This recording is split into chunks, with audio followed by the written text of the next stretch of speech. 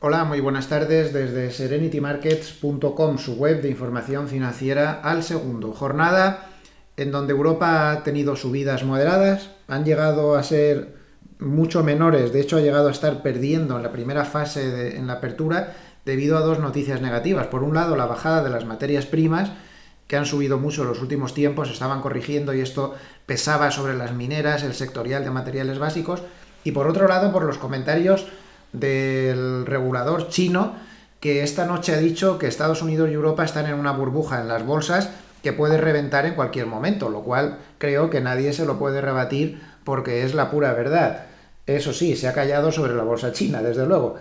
Eh, estos comentarios del regulador chino han llegado a provocar una vuelta muy fuerte de las bolsas asiáticas, menos 0,86% el Nikkei, menos 1,2% la bolsa china. Pero ya posteriormente, conforme avanzaba la sesión, el hecho de que el bono americano esté muy tranquilo y bajando rentabilidades,